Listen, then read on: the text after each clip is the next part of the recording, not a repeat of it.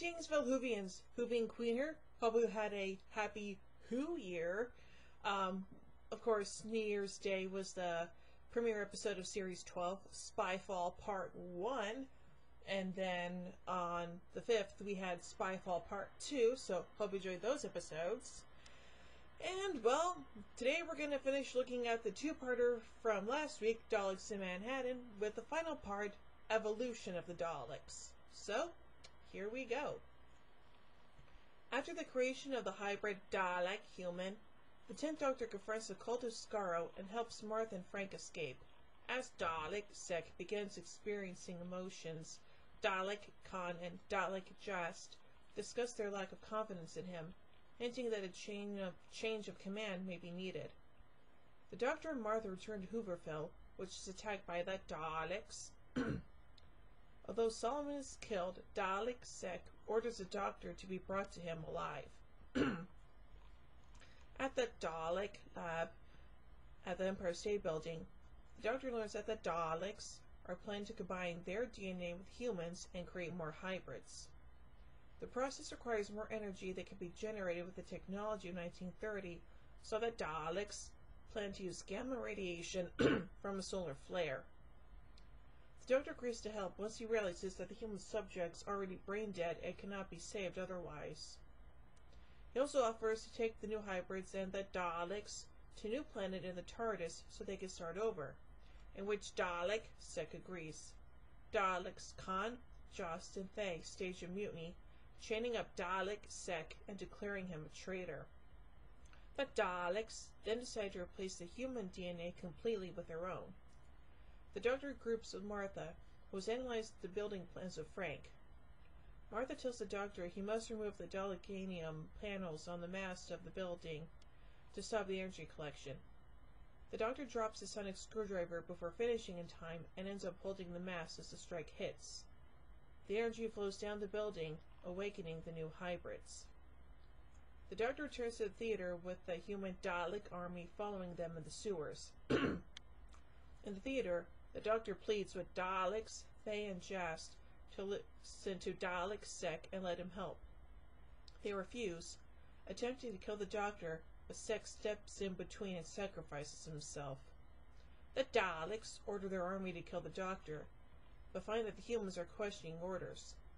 By exposing himself to the gamma strike, the doctor caused some of his Time Lord DNA to transfer to the human shells. The army turn on Thay and Jast, killing them, Dalek Caan activates the termination sequence to kill the rest of the army. Upset by this act of genocide, the Doctor returns to the Dalek lab to face Caan, but Caan escapes once again via via emergency temporal shift. Oh, I was so close. But oh well then. Anyway, let's look at some outside references here. Happy Days are here again by Milton A. Ager and Jack Yellen is heard on the radio. Martha makes a reference to the 1957 film The Prince of the Showgirls, starring Marilyn Monroe and Laurence Olivier, adapting it to Laszlo and Tallulah's situation as the pig and showgirl. When the doctor arrives in the lift, he says, first floor perfumery, in the manner of a department store lift attendant. The method of announcing both floor and departments found thereon is also used as the basis of the theme music to the BBC situation comedy Are You Being Served? Since Britain typically used the phrase ground floor to describe what Americans would call the first floor, this line is an ostensible Americanization of the Are You Being Served theme's first verse, which begins, which begins with the words ground floor perfumery. And now on to the production. The theater sequence was filmed at the Parc and Dare Theater, Treorchy. Sorry if I mispronounced that. Scenes set at the Hooverville shantytown were filmed at Bute Park, Cardiff. Some second unit filming for the story was done in New York City.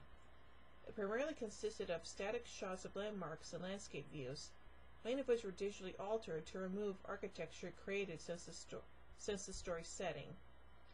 This constitutes the second time any filming for Doctor Who has been conducted in America. The 1996 TV movie, although produced in Vancouver, Canada, included establishing shots of San Francisco filmed by a second unit. An earlier story, The Two Doctors, was originally to have been filmed in New Orleans, but the budget of the time would not allow it. The presence of the Daleks in this story was reported by the News of the World on November 12, 2006, and confirmed by the BBC in late December. So overall, as a conclusion to Daleks in Manhattan, it's alright nonetheless, so yeah.